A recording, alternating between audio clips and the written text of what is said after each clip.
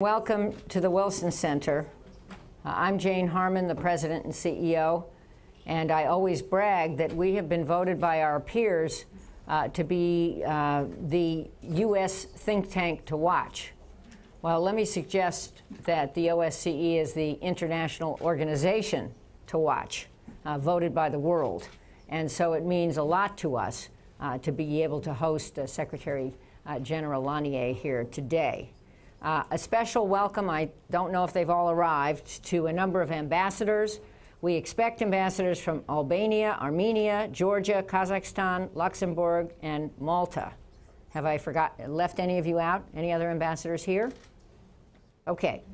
Uh, in early February, I met with uh, Secretary General uh, Zannier in uh, Munich, where we discussed the possibility of collaboration between the Wilson Center and the OSCE.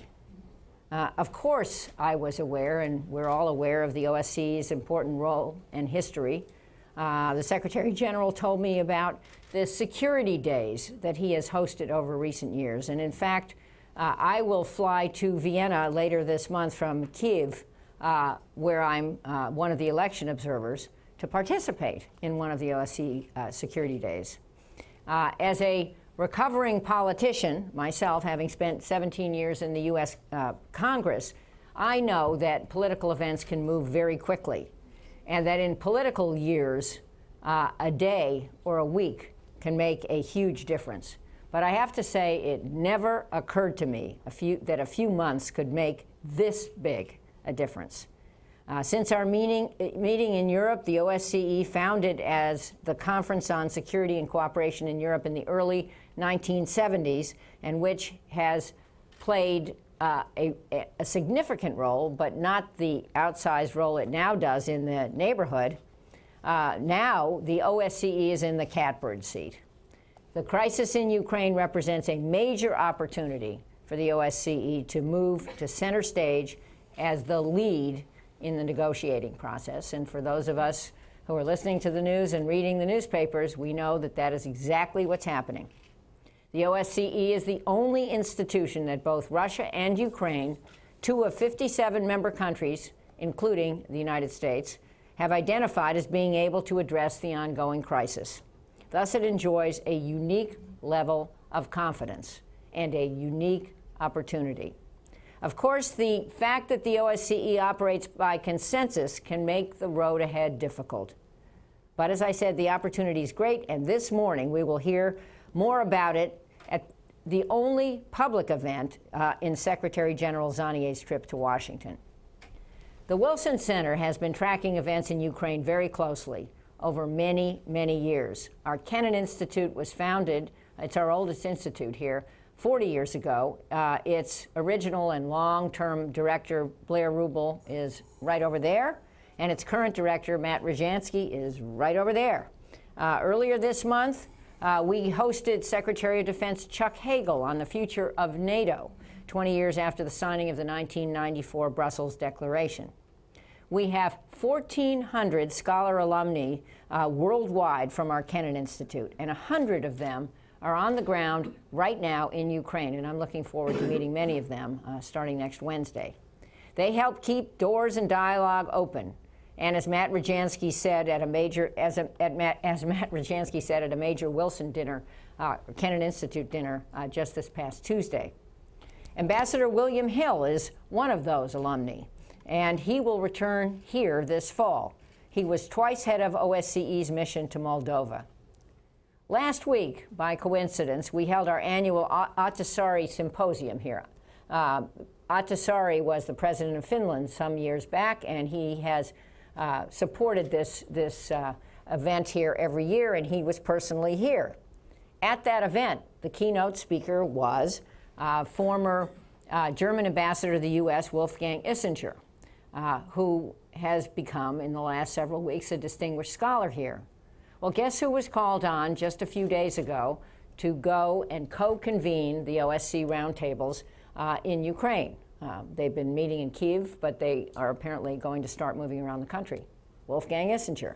So we're really very proud uh, that we have a lot of our people on the ground in the right places hopefully helping this impressive organization uh, to uh, negotiate a reasonable and responsible end to the crisis. When Ambassador Ischinger spoke in this room last week, he said, quote, uh, this is what he said. Uh, the OSCE was all but forgotten, unfortunately, until the current crisis. With a military verification team and civilian monitors on the ground and 100 long term and 900 short term election observers ready for May 25, the OSCE is at ground zero, scheduling an all Ukrainian roundtable to discuss national unity. At last reports, uh, the separatists have, have, have yet to participate in these roundtables, but the question of how to reshape the government is front and center. So is the issue of corruption and mismanagement.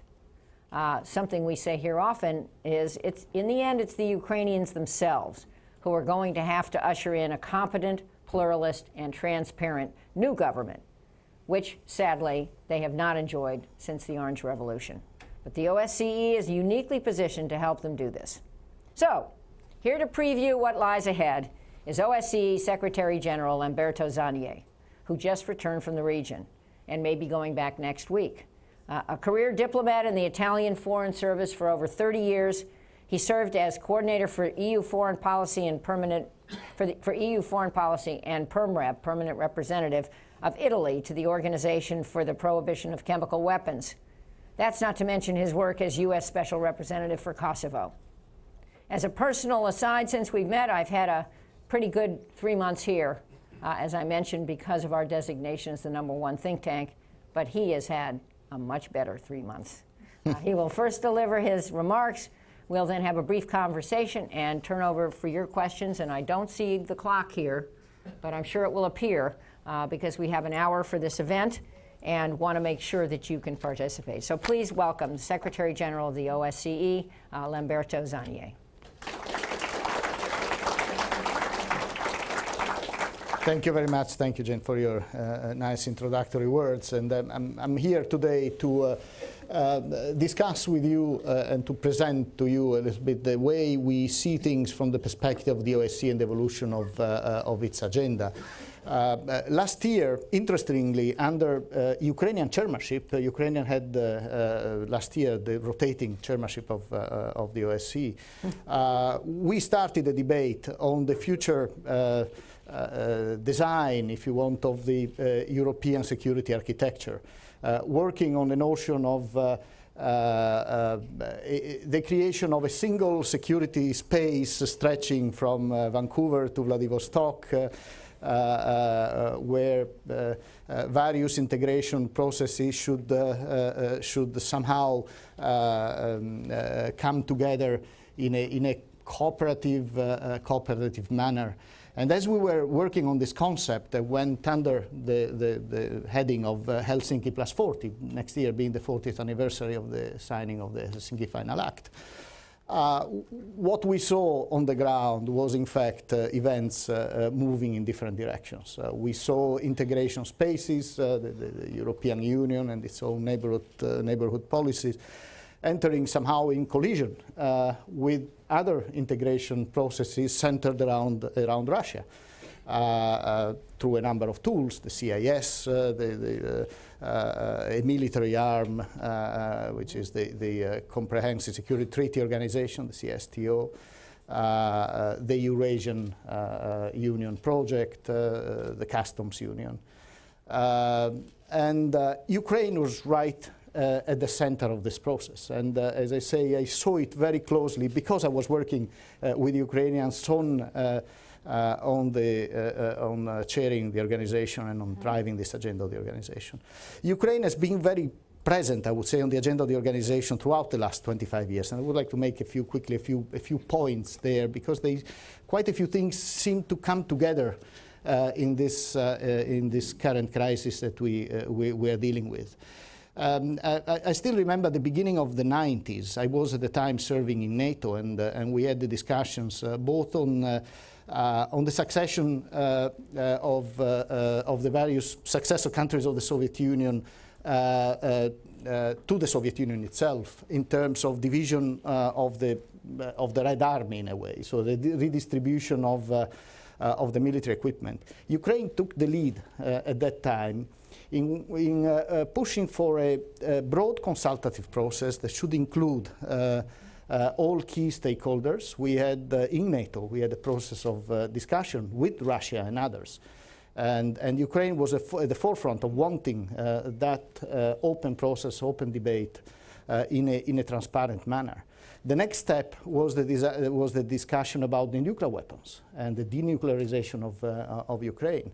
Uh, where also NATO had to play a role uh, mediating in a way between Russia and Ukraine to uh, unblock a process and a discussion that was bilaterally very, very complicated.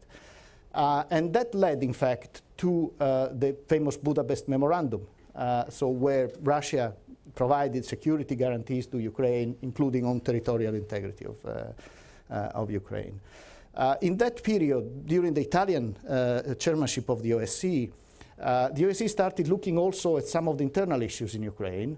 Uh, missions were sent to Ukraine, and an office was opened in Crimea. Crimea having been identified as a particularly uh, sensitive area because of, uh, uh, of the presence of, uh, of, national minorities, the Tatars, but also because of some of the complicated political relationships between local leadership and, and Kiev and the status of, of Crimea itself. Um, that presence, uh, the, the, conditions that the Ukrainians uh, at, the, at, that point uh, uh put on the OSCE was to open an office in Kiev to avoid that Crimea would be singled out uh, uh, through an OSCE mission there. And after a few years, in, I think around 2000, then Ukraine insisted that the office in Crimea should be closed. And so we remained only as the OSCE with, with only an office in, in Kiev missed opportunity in a way, uh, yeah. seen now mm -hmm. from, from, from today's perspective. Um, in, in, another step uh, in my professional life uh, as director of Conflict Prevention Center of the OSCE, I found myself in Kiev in 2004 during the Orange Revolution, and I was observing. I had, uh, I think I was in the delegation. The, we had the last international meeting with President Kuchma before a, a, beginning of a series of roundtables so parallels uh, with processes that we start uh, uh, seeing developing today. Uh, that led uh, at that time to a decision to repeat the elections. Have those elections been uh, um, widely um, contested and, and, and therefore object of a, of a um, you know, lively public debate, let's call it that way. And I remember at the time as I was walking down Maidan and and the orange people uh, celebrating, etc. In the background, there were the marches of the blue people uh, coming from Donetsk, coming from the other regions, uh, with Yanukovych leading them, and Ukrainian flags. They, they were turning up with Ukrainian, not Russian flags at the time. So that's another interesting, uh, interesting difference. Uh, so we had the elections and then, and then the new pro-Western government, Yushchenko and, and Timoshenko. Um, then there were elections again in 2008. At that point, I was in Kosovo. Uh, but but uh, Lenarcic, the director of ODIHR, our Office for Human Rights and Democratic Institutions, uh, uh, uh, which organizes these election monitoring operations also, um, was telling me that having observed elections throughout the years in Ukraine, ODIHR found those elections in 2008 to be among the best ever elections held in the former Soviet space. So the, the, that pro-Western government did a very good job in organizing those elections. The only surprise was that the person who won those elections was Yanukovych, which shows, in a way, also the divisions that exist uh, in, the, in the Ukrainian society. Of course, then Yanukovych held elections again, and, but the elections he organized were not at all up to the same standards of the previous ones. But certainly he managed to to sail through those elections uh, among very open criticism from, from the OSCE. Um, eve of the Ukrainian uh, chairmanship last year, there was a reshuffle in the government. I, I had prepared the chairmanship uh, with the minister whom I knew well from the early 90s because he was involved in the nuclear issues, uh, Grishenko, who was promoted in the new government as a deputy prime minister with a mandate to work towards the success of the Vilnius summit. So his job was to really to push uh, towards uh, stronger ties uh, uh between Ukraine and the European Union. And I, uh, I got a phone call just after Christmas from the new foreign minister, Kozhara, whom I also knew because he was the foreign, advisor, foreign policy advisor of Kuchma in 2004. Uh, so a man, a man of the parties of the party of the regions, and uh, uh, who told me that a strategic decision had been made in Ukraine, that Ukraine was moving westwards, wanted stronger relations with the EU, and he was going to work on that, and he was wanting also to use the chairmanship of the organization to profile in a positive way the country. And so uh, we had a very good cooperation in uh, uh, addressing the whole set of issues on the agenda of the OSCE. But I also got this push from them uh, in all my contacts with Füle, for instance, in sort of uh, uh, to lobby a little bit, to spend a good word for the efforts that Ukraine was making to, to run this, this European agenda. Uh, interestingly, as we went through the year, and I was uh, listening carefully to the way uh, Yanukovych and, and, uh, and Kozhara were presenting their, their European project, this was always presented in a very balanced way. Uh, what I always said, uh, or what I always heard from their side, was that we'll move ahead, we want closer ties, we want to modernize Ukraine, reform, there will be a good opportunity for us, and and the competition uh, uh, with the European market will prod us also to, to move on the, on the road of reform, but this will be fully compatible with a strong relationship with Russia, with the customs union. Uh, so they were uh, still seeing uh, Ukraine is in a, in a, in a, as a bridge, in a way, between uh, you, these two broader integration processes. Um, what happened towards the end of the year is that the obviously on the uh, point of relations with Russia there had been miscalculations. Uh, uh, we saw a, more intense diplomatic offensive at the highest level from, from Russia and Ukraine. Um, uh, Ukraine, uh, and there myself, I was surprised to see how uh, much the, the economic issues had been underestimated and the impact of those had been, had been underestimated. Uh, uh, other considerations may also have been at this point uh, made, and of course I, I, I, don't know the details of the discussions between, uh, between the Ukrainians and the Russians at that point, but certainly there was a dramatic turnaround, and that's where the current chapter uh, uh, starts. the political process goes out in the streets. we see dramatic developments. The international community intervenes. the president leaves the country. Uh, part of the country uh, doesn't recognize itself uh, in the new political processes in Kiev. The government, even the president, who is an institutional figure, is the former or it's the current actually uh, speaker of, uh, of the Rada, who is serving as an acting president, but because of his political uh, affiliation is uh, uh, is considered to be, or is, is not considered to be legitimate because it's also the result of a process that is considered to be widely considered to be illegitimate in the East, and of course the East uh, uh, profoundly influenced also by Russia, by the, the, also the, the, role of the Russian media play there. And, uh, and we see a country increasingly, increasingly split. So there is a need uh, at this point uh, to uh, um, uh, intervene uh, with processes that bring the, uh, the political discourse back to where it belongs, back to the parliament, first of all. we need a political process that is inclusive. Uh, and and uh, the more uh, we see violence in the streets and we see difficult um, events which we have to face and which we have to deal with, uh, the more we feel that this engagement is, uh, this political engagement is, is urgent. So challenges that we, that, that we have now. Uh, I think yesterday we, had, uh, we saw a very positive development, uh, launching of a process of dialogue. We've been encouraging the Ukrainians to do that. We had a project uh, running already for a couple of months on, uh, on uh, uh, promoting dialogue in Ukraine. It was really difficult to convince and to align everybody on this, uh, on this notion, uh, but, uh, but better late than never. Right. Even though the situation has deteriorated, now the conditions for this dialogue are much more difficult than they would have been a month and a half ago.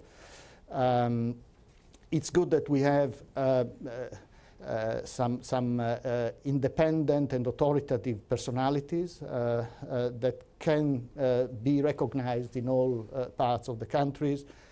for their role in the past, very institutional.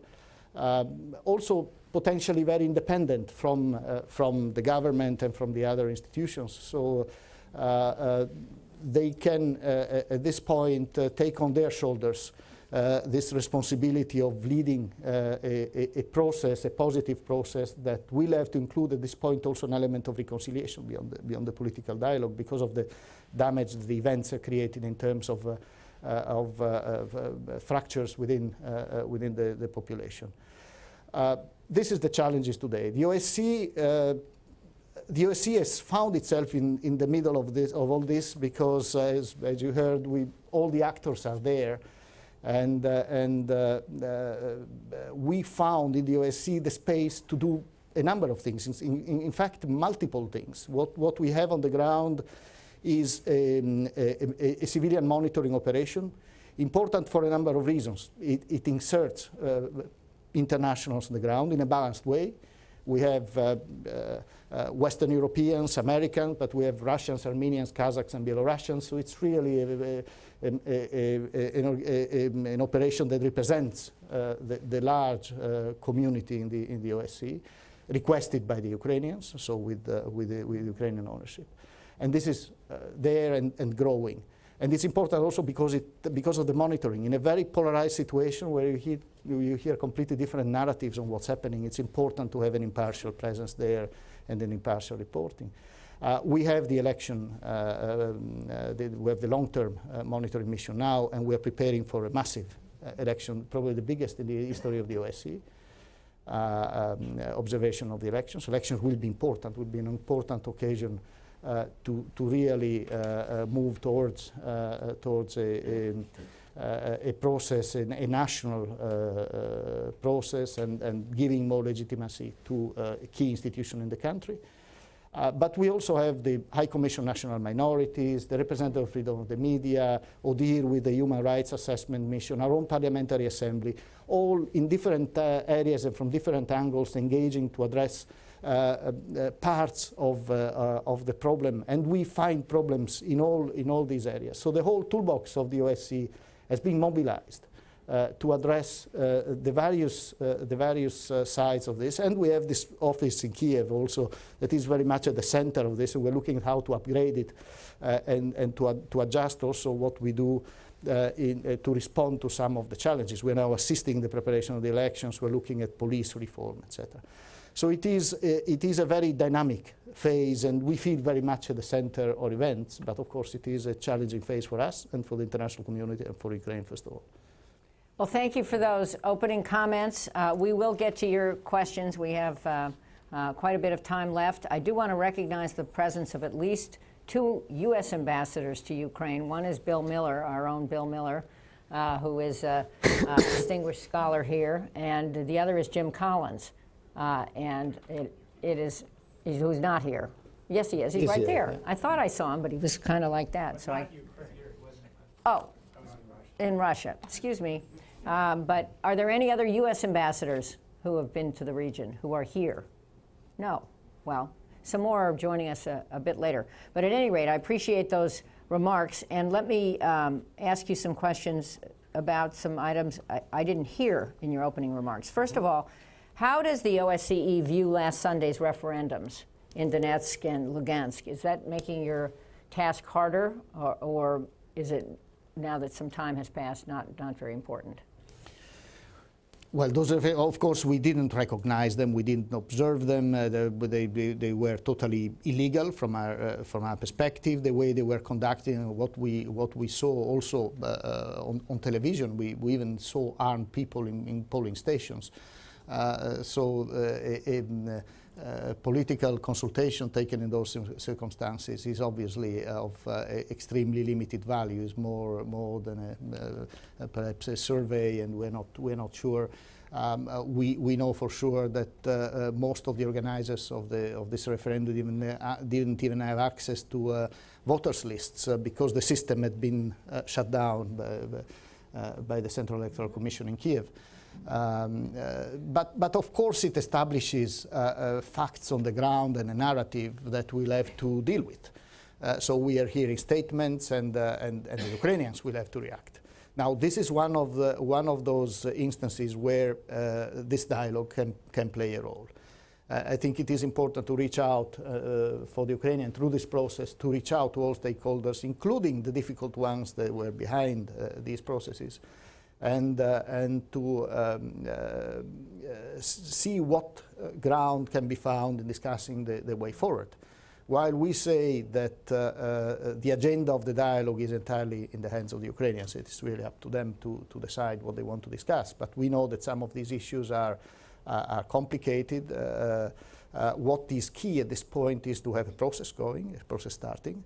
Um, the, the, issue of uh, decentralization, and some in the East want to talk about federalism, and even also federalism is is a very vague word. Uh, uh, word. You know, I'm, I'm, coming from Austria, which is a federal country. U.S. are a federal country. Uh, Germany and, and Russia.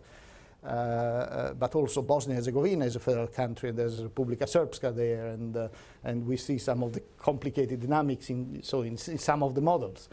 So those who are proposing federalism, what are they proposing exactly? So this is something that that will have to be clarified in this in this debate. And when uh, people uh, come to participate in these roundtables, which I know you said could be held in, in, a number of locations around the country, they're not going to be able to come with their black masks and their weapons. Is that correct? They'll have to identify themselves and sit at the table and. Well, it, it seems to me that those who have uh, uh, chosen the way of violence and the use of weapons have uh, automatically disqualified themselves from uh, from sitting at, at a table. Uh, uh, I think there are, we, we, are seeing you know, different levels of players at this point. Uh, by the way, some of these masked men, we are not even sure they, who they are and where they're coming from. Uh, but but uh, uh, there are all, all sorts of legal or self-proclaimed authorities, and there are people that have influence over these armed groups or might have some influence. people might, who might be totally disconnected from them. So at this point, it's also a matter of uh, uh, identifying who are the significant interlocutors, those who can, uh, can assist. I would be very pragmatic in, in moving forward.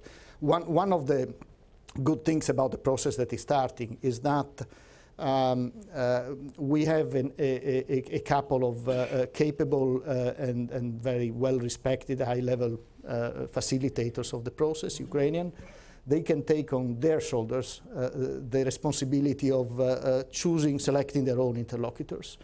and, and, and I think this is a, a healthy setup in itself.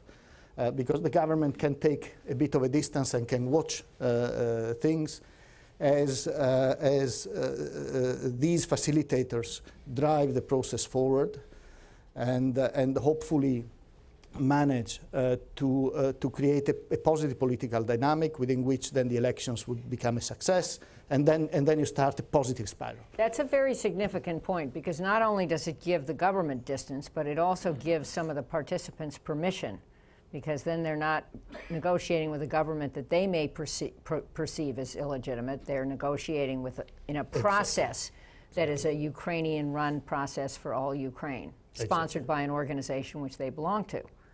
Um, speaking of that, you mentioned Yanukovych and the role he has played in the past. Uh, is there any role for him now? Does he choose to play a role now in these roundtables, personally? I think this would be very extremely difficult given everything, everything that has happened there. Uh, uh, plus, it's not very clear what role Yanukovych is playing now from where he is. Uh, so I, I, really don't think uh, that there is, uh, there is room for him personally to, uh, to play a role given, given what we've seen in the past. Um, but I wouldn't even personalize this too much. One, one of the issues is the political forces and, and the party of the regions. Uh, the party of the regions is in shatters, it seems to me. Mm -hmm. uh, um, some of the uh, parliamentarians that are expression of these uh, uh, regions in the East are running the risk of losing the contact with their own constituencies. So part of this, the dialogue should be very close to the Rada, to the parliament, and should help also the parliament to regain authority, uh, become again the central institution of the country, recognized by everybody, and making sure also that, the, uh, that there is uh, this re reconnection, if you want, of, uh, of the uh, representatives of the members of the parliament with their own constituencies, I think is important.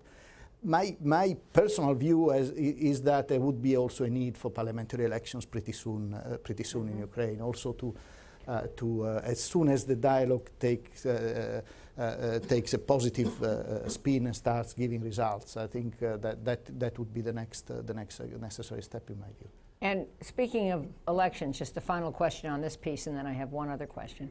Um, the, a reporter asked me this yesterday, uh, and my response was the May 25th elections are, are seen, I'm not trying to put words in your mouth, they're seen by, uh, my view is, they should be the forcing mechanism to get a lot of this work done before the election, uh, which would set up a better chance for the election to be to have national participation and be perceived as successful.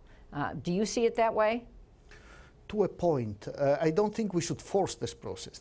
I think it's important that it starts and it, you know, it progresses as much as possible before the elections because it will create a positive dynamic for the elections themselves.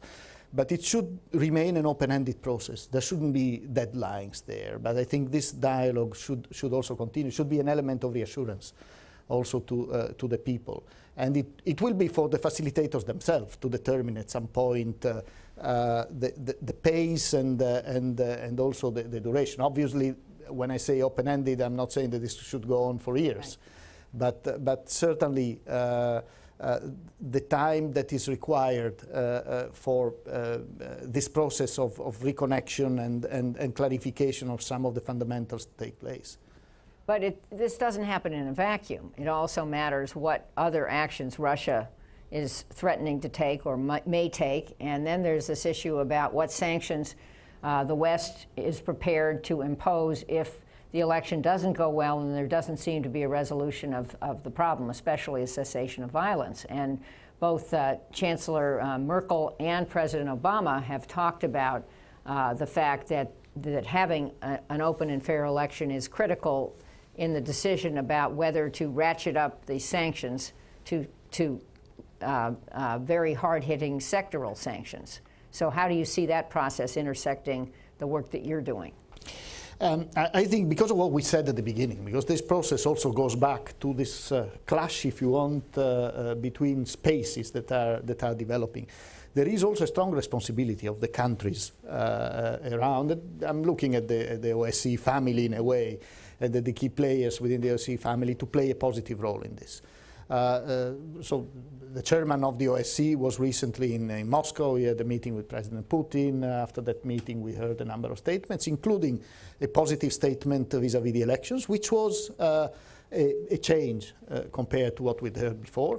And, and, that, that was a positive change. We want to see more. And uh, I, I, recently in Vienna a meeting with the Russian ambassador. I made very clear the point that uh, uh, we see in a situation that is very polarized on the ground where we see also the media and we hear the narratives we hear uh, uh, on the media are, are very different uh, if you compare Russian and, and, Western media.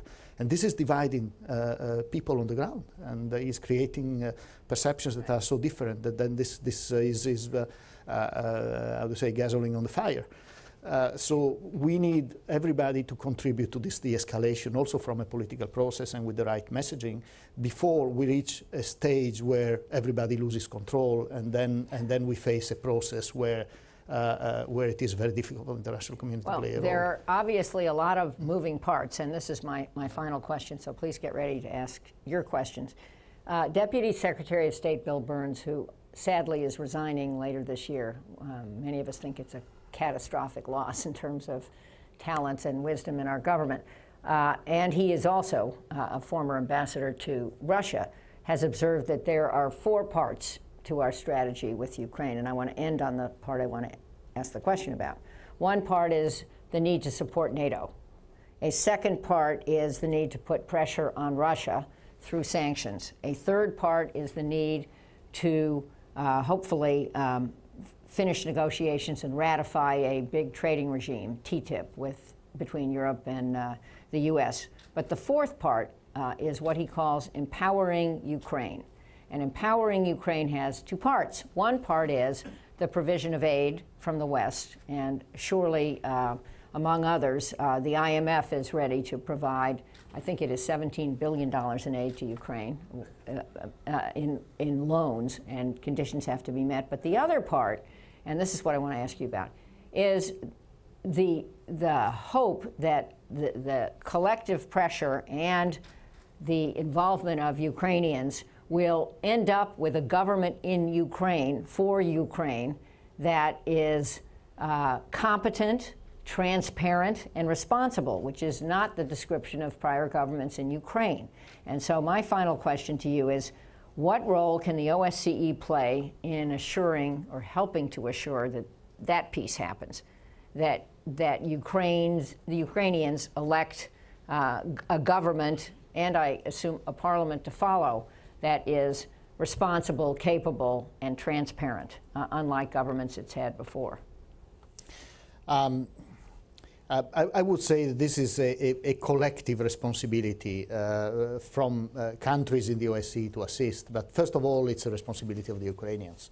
And, and on, on, some of these issues, uh, for instance, the dialogue we're talking about, we've been pushing for quite some time to see uh, initiatives, to see movement. So we need to make sure that there is, and, and, that's what we're working on the, in the OSCE, a shared strategy in the international community around some key, uh, uh, key principles. Geneva was also about that. It was, was building a, a, strategy. We want to see also engagement from everybody in supporting the implementation of the strategy.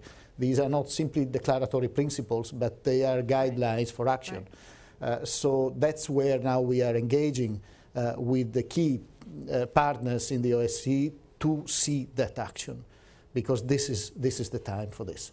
Uh, if we miss the opportunity now, uh, if uh, we want to make the elections a success, I think it's a, it's a key uh, point in this to, to turn around a, a process that is problematic in many aspects. We see the engagement of the ground and we, we are worried at some of the potential scenarios.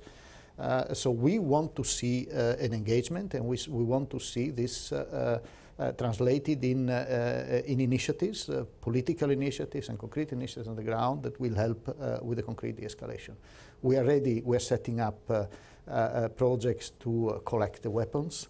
Uh, um, we are discussing how to you know, free up buildings, etc. But we need to get the political process going, and, and uh, we can only do it with the support of everybody. Well, sadly, we've seen a lot of elections around the world recently mm. that have ended up ratifying bad leaders and not generating responsible, new or or uh, uh, reinvented leaders who would bring less corrupt and more uh, and more capable government to the people, which is, after all, what they want. Um, so I hope you're right. All right, we have 19 minutes for questions, and um, please identify yourself and ask a brief question. We have microphones there, uh, both sides, so we'll try to be efficient. Let's start with the woman over there. Thank you. Uh, Natasha Mozgovaya with the Voice of America. Um, I was wondering how uh, cooperative uh, Russians uh, really are, because it seems, at least today, um, the, we've heard remarks um, undermining uh, credibility of uh, OSCE reports, saying that it was purged for following this, the pressure of Kiev. It didn't include referenda, for example. It didn't include um, attacks against civilians, etc. I was wondering, what do you think about it? Thank you to reply. Um, uh, with the Russians, I, I, had consultations recently uh, with the delegation, high-level delegation coming to Vienna from Moscow, and we discussed also issues related to the operation on the, on the ground. F first of all, that's an operation uh, of which Russia is, is fully part. Uh, so the reporting reflects also the work of the Russians uh, that are part of that, uh, of that operation. Um, secondly, we are reporting about the things we observe one of the points I'm making is that I'm trying, and um, if I make maybe make, make a comment on the, in the margins of this, uh, we are in a phase where we found in the OSCE a tool that is useful for the international community uh, to intervene and to help de-escalate the conflict. Uh, we uh, aligned everybody around the notion of, uh, of, of, a mandate for this operation. Uh, we circulated the concept. we specified also the uh, resources that, we need, that are needed for this operation. When it comes then to getting those resources from, from our, our own participating states, financial, human, etc., then things change and things go move very slowly. Uh, so I think there is also uh, uh, a need for a good understanding on the side of the international community as such. Uh, that uh, if uh, we want a, a, um, a, a, result that is at the level of the expectation, including the ability for us to report on every single thing that is going on in the various, the mission is, uh, is covering the whole of, uh, of Ukraine. So it's, it's a huge territory, and we have 200 now, 200 people. And, uh, we, we're half, we have half of the people we would need, or at least we're authorized to, to deploy at this point. Uh, I'm, I'm, surprised to see that we didn't get more uh, support financial, in financial and human terms. I think this is, it is a key moment. It's a key phase in this crisis. I would have expected a stronger, uh, a stronger support from the international community. The Russians, uh, I have to say, they, they told me that they are going to give us more people and they give us more money. I'm still, I'm still waiting for that uh, from them too, as from many others. Thank you. Uh, let's go to the back. Uh, gentleman, right there with your hand in the middle, right there. Hi, Mr. Secretary General. John Hudson with Foreign Policy Magazine. Uh, I wanted to ask you about the criticisms that the uh, OSCE brokered talks and dialogue that launched yesterday uh, don't include uh, pro-Russian uh, uh, rebels, and, and, whether or not you, you talked briefly about how they some have disqualified themselves by embracing violence, but what about other pro-Russian rebels? You see, our role is to support this process. we, we don't want to organize things. It's really the Ukrainians themselves have to organize them. Now, they have appointed uh, these two co-facilitators. The OSCE has appointed a high-level uh, personality, Ambassador Ischinger, to support this, this process. Uh, but it's really, and, and we want to give a strong ownership, a strong Ukrainian ownership uh, uh, to this. It, it is really for them uh, to draw the line, also to take the responsibility on themselves of deciding uh, how far they want to go in terms of engaging. Uh, but you know, playing it very safe uh, may become not very significant. Uh, on the other hand, uh, I think it's important to marginalize those that have embraced, as you say, as you put it, have embraced violence. Uh, so between those two, there is, there is some space and some room for maneuver. And, and that's where I think that it would be important for the facilitators to also to show uh, a proactive approach in engaging with as many significant actors uh, uh, is, is needed for them to bring home a, a, a, positive result. Thank you. We'll go over to this side. Um, right there. Big hand waving. Uh, thank you. My name is Scott Carlson. I'm with New Rule and Democracy Council. I thank you for hosting this event today and Mr. Secretary General for your time.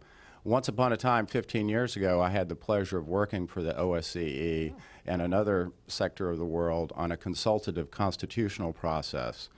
Currently, we understand that the interim government is going to push for what I would say is somewhat of a top-down uh, constitutional process culminating in September. I'm wondering if you have any uh, thoughts on that first and what are the possibilities for elongating that and sort of reaching out to the grassroots level for consultations. Thank you.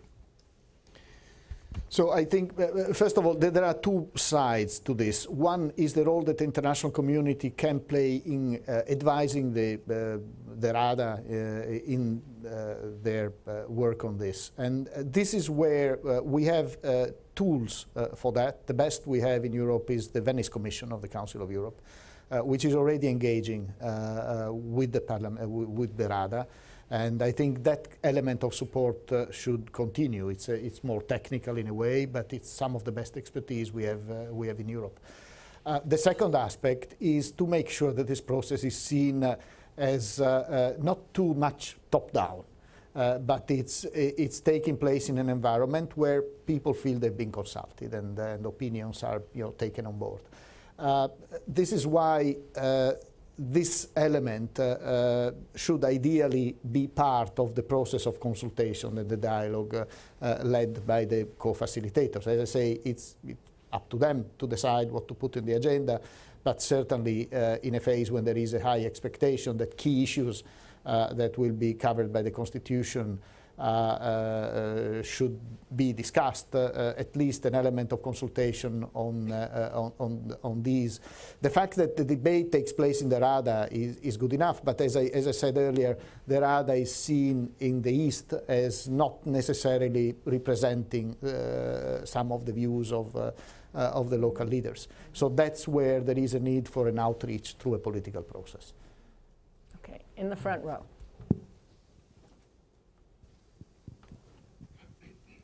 Thank you, Jane. My name is Edward Joseph with the Johns Hopkins SAIS Lamberto. Great to see you. As Jane mentioned, not only are we fortunate to have an organization where both Ukraine and Russia and the United States are all members, but I think we're fortunate to have a Secretary General like you with your experience and determination in this uh, crisis. Really I quite planted fortunate. this question. uh, Secretary General, you mentioned the many tools that OSCE has and that it's currently deploying. High Commissioner for National Minorities, this human rights assessment, your election monitors.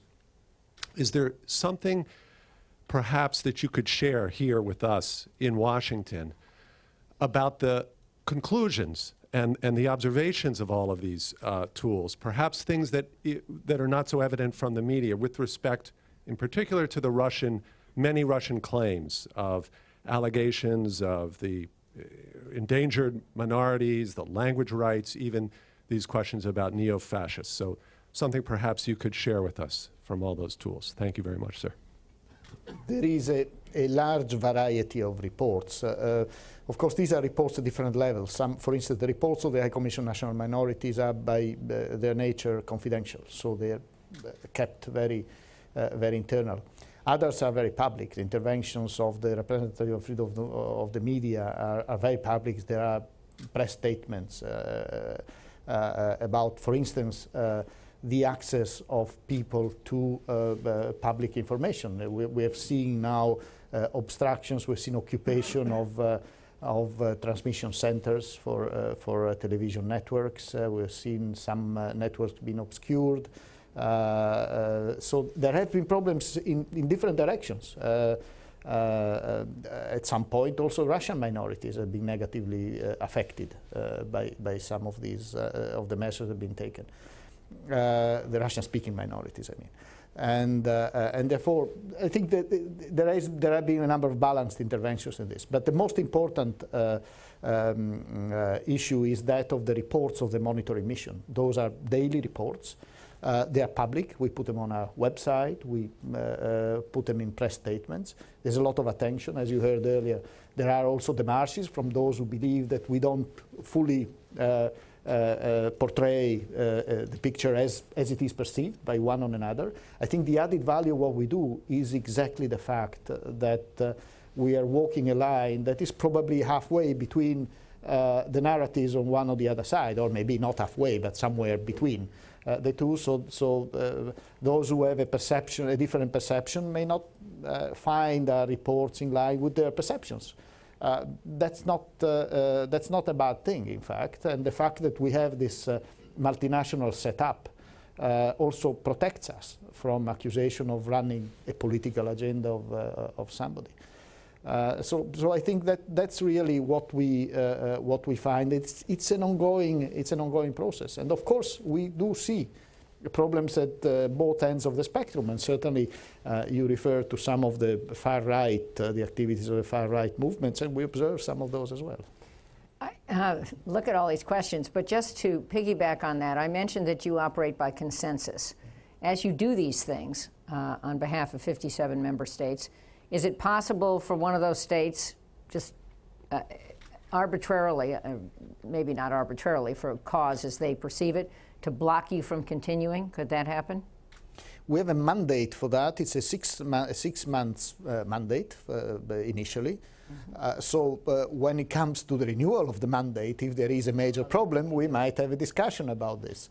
Uh, but it seems to me, having uh, engaged with a number of actors, obviously nobody knows what the situation will be in September and whether we'll need to continue uh, at this point, uh, whether we'll need to continue the operation, but nobody seems to have problems in principle. Nobody's screaming saying we'll close it down as soon as we can. So for the moment, So they don't the have moment, the, a procedural they- mechanism they- to no, do that. No, no, no. And there are, and uh, and we, we are not picking while there are complaints here and there. We don't, we, we are not sensing there is a a, a, a basic problem with what we're doing.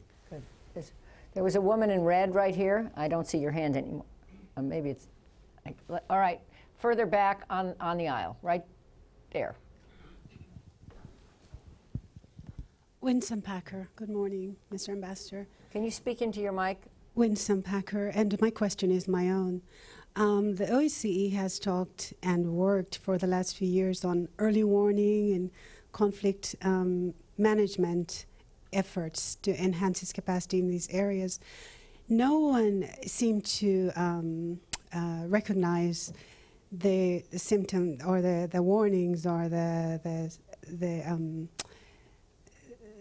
the possibility that Georgia that Georgia could have happened in 2008 at the OSCE, even though there were overflights and there were um, incursions into um, South Ossetia and you know the the Russian repair of the railroad tracks in order to move its troops in later, um, and no one seemed to to um, recognize the events in Crimea. And I'm wondering if the OSCE missed. Um, these elements and what you might be, be done in the future to enhance these capacities. Well, as I, as I mentioned, we had an office in Crimea, and we had an office in Crimea uh, a few months ago. We might have uh, uh, picked some signals, but being being in Kiev, this was uh, you know. Uh, the Ukrainians themselves were taken by surprise, and, uh, and the international community was taken by surprise by, by uh, uh, developments there. So, without having a presence in the region, I, I was myself twice in Crimea last year. Once for the Yalta Security Conference, and uh, um, and we discussed about everything. Certainly not about Crimea. Uh, it was not not an issue in terms of uh, you know upcoming foreseeable security challenges. And, and as I say, not uh, not being based there, I didn't have a good reading of uh, of the local political processes that might perhaps have given some indications of what might have uh, might have come. So for uh, uh, to have an effective uh, early warning tool, you need also to have the presence of the ground. That's that's an essential uh, an essential element. Uh, there's a woman with glasses in the fourth row. Just waved her hand. Thank you. I'm Lara Jakes with Associated Press. Um, Mr. Secretary General, you spoke a few minutes, minutes ago about needing to walk this fine line as um, the OSCE with all of these member states. Jane, a few minutes ago, mentioned what the State Department four pronged strategy is, referring to NATO, referring to the sanctions, referring to the TTIP agreement. Um, it, there's a perception in the West that these are all issues on which Russia is trying to draw drive a wedge between the U.S. and the EU. And in your role as this kind of arbiter um, on all sides, do you agree with that perception? And if so, why do you think Russia is doing this? Well, you should ask the Russians, not me. But uh, uh, well, we see it's it's not only a, a, an issue of different perceptions in different uh, in different quarters in the West. Uh, if, if you look. Uh, uh, more closely, as I, as I do from Vienna into the European Union, I was in Brussels recently at discussions with the, the, the, the, the member states in the in the EU in one of their uh, political consultation fora. Uh, I, I, sensed uh, that there are there, there is a different positioning, also in terms of the role of, it, of the EU itself, uh, whether the EU should be more active on the ground, whether the EU should use more the OSCE as as a tool for its own for its own policies. Uh, and uh, um, so, the, you know, whether Russia is deliberately uh, playing playing this card, it's it's at this point speculation. Difficult also for me to comment from my from my position, but certainly there is.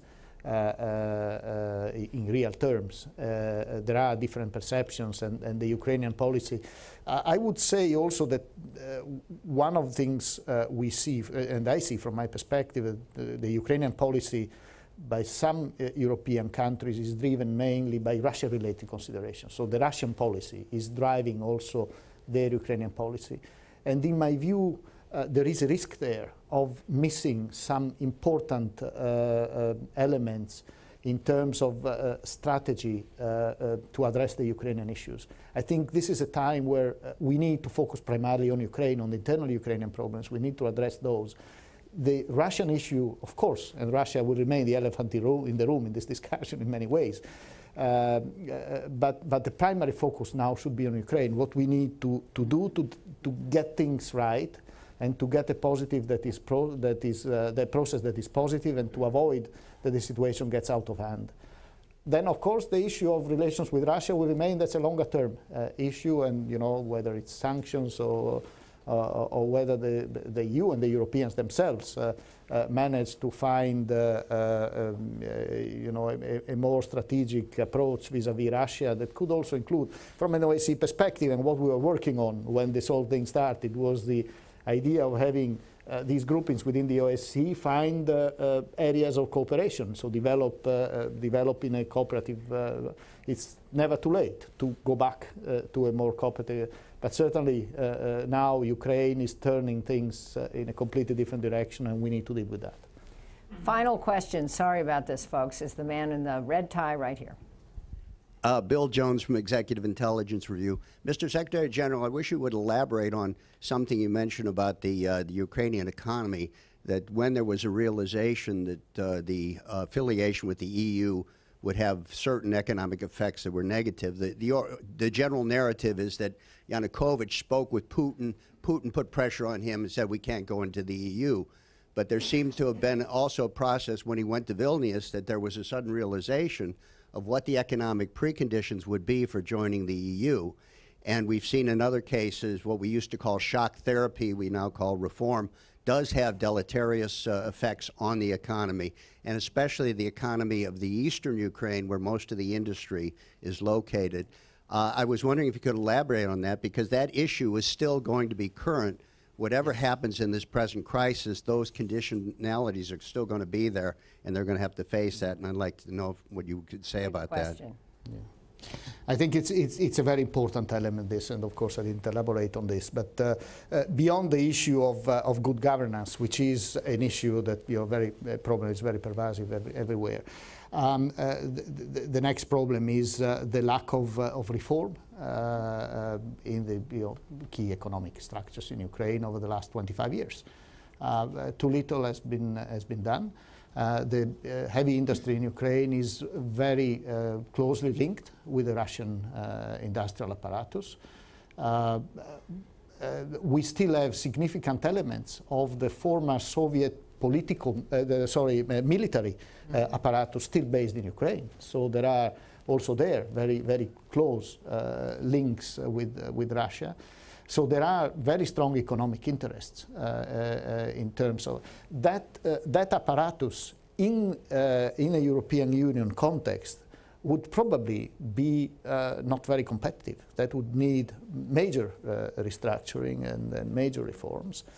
Uh, so this is why I think also uh, uh, the, the, previous leadership was looking at uh, deepening and developing its own relations with the European Union, but uh, uh at uh, you know uh, at its own pace, because they felt that the links and the, economic interests with Russia had to be safeguarded, and and I think they were looking at a very long-term development development of the relationship uh, uh, with the European Union. That was the perception I have. But now a, a quick push uh, uh towards uh, the European Union may uh, produce repercussions also at the economic level internally that might add on to the political problems that we see. Well, none of these problems is easy, obviously, and thank you all for excellent questions, but a special thank you to uh, Secretary General Lamberto for being so candid with us and for shouldering an enormous responsibility with wisdom and commitment. I mean, wouldn't it be nice if Ukraine turns out right? And wouldn't it be wonderful if the OSCE, an organization created years ago with great promise, turns out to, to fulfill its mandate as the only regional organization with all the member states inside? And uh, the Wilson Center is delighted to host you today, and we uh, will be on the ground with you and watch with enormous interest uh, as events unfold. So thank you again for coming, and thank you all for coming. Thank you. Great to be here. Thank you.